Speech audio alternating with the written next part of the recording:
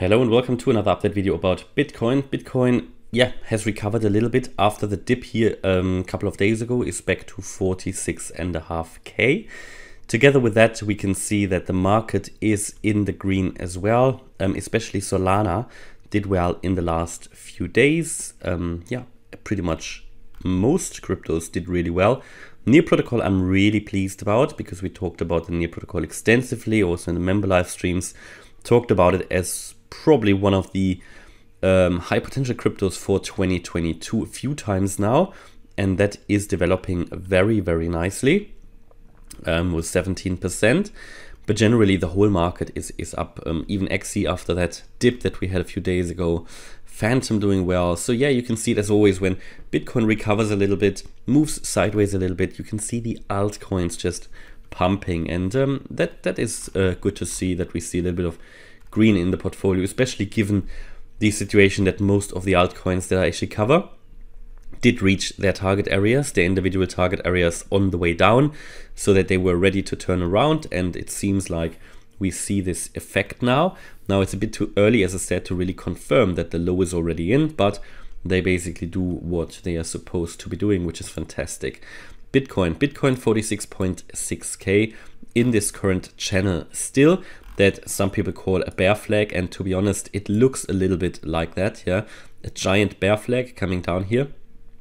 Um, so we've got we've got this sort of flagpole, this um, yeah the actual flag, and that could if this really just purely looking at a pattern from a pattern point of view, this could really um, lead to a further sell-off. Now, from my point of view, I'm more looking into the Elliott waves, and from my point of view, the current scenario, the main scenario I'm currently looking at after we broke above 45.8k, that was the important level. Um, and Bitcoin has fallen below that again, but that is not too much of a problem. Short term, um, the scenario has been unlocked that we move up here in this ABC. So you come down in your wave A, that is complete. We're moving up in a wave B into the region here between 55 and 65k ideally before you come down again. So my view is that we have not seen the low yet for Bitcoin. A few reasons for that. First of all, structurally, what we see here, it does not look um, very impulsive. So it does not indicate that Bitcoin has made a low. Typically, what we see with Bitcoin, when it comes down in such a high level correction, we see something like a significant low. Now, this does not at all here look like a significant low from where we really start. This was a bit, or looks very corrective still. Yeah, all of this here. The other reason is that we have, um, yeah, I mean, there are a few ways of how you can call this a low, but from an Elliott wave point of view as well, but all of them super unlikely, especially in such a high level wave count, high level pattern. In my opinion, all of this here, what we see here, this correction down, is a wave two. And um, in a wave two, that Bitcoin doesn't make a lower low compared to the previous low, compared to the wave A, is just so unlikely. I would I would be really surprised if the low here is already in. But as I said in previous videos, we want to be prepared for both scenarios. My strategy is therefore not just to blindly assume we're coming down. And um, yeah, I dollar cost averaged into Bitcoin below 40k. Did mention that a few times. And with the altcoins pumping more, that is even more profitable. So all of these buy orders were triggered. Of course, not all of them. There are always a few buy orders that are set lower, um, but maybe they will be triggered, or pretty sure they will be triggered when we come down lower. Um, so this is still the primary expectation, but first up, then down is now the route that I would see this price go. And so far with the correction down that we saw here a few days ago after we saw that hanging man pattern on the daily, so that candle here, that potential reversal candle that we talked about, also called a hammer pattern, we saw a correction down. Now that was a retest. At the moment, it looks like only a retest of the 44.5k level or 45.5k level. Just need to be a bit careful because all we did at the moment is just another lower high, okay? Bitcoin now needs to push higher to really fulfill that scenario and needs to get to the 200-day moving average again, which is currently at 48.3k. Then needs to push higher than that, and only if we break above that level, that would also allow Bitcoin to move above that ascending trend line of that channel, and it would break out to the upside and then can continue its route to the next resistance, which would be at 51k. That is the 50% FIB level.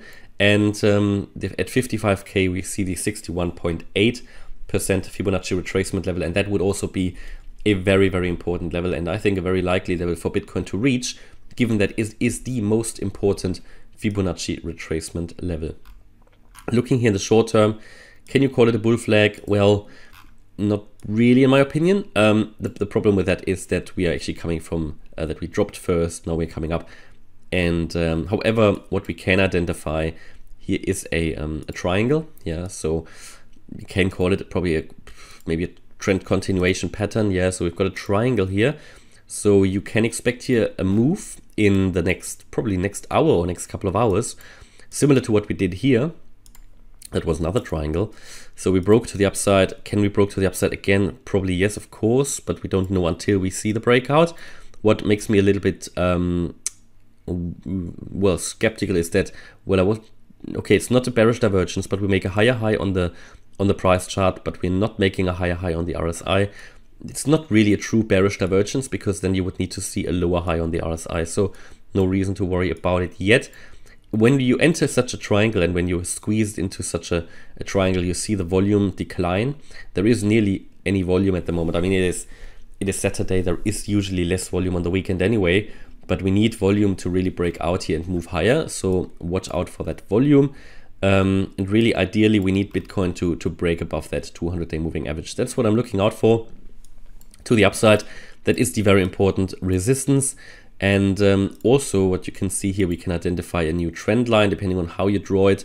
But if you draw it like that, we are pretty much here now at a point where Bitcoin needs to decide again, where is it heading? Um, and to be honest, on the four hour chart, it doesn't look too bad because we can see the, oh, did I just delete the MACD? Let me just add the MACD again here to the, um, to the chart. So we can see on the four hour chart the, let me just move that, the MACD. the MACD is going to do a bullish crossover. Oh, that was the MACD. So, no, I'll delete that after this video. So we can see the MACD here on the four hour is going to do a bullish crossover if it's going to continue like that.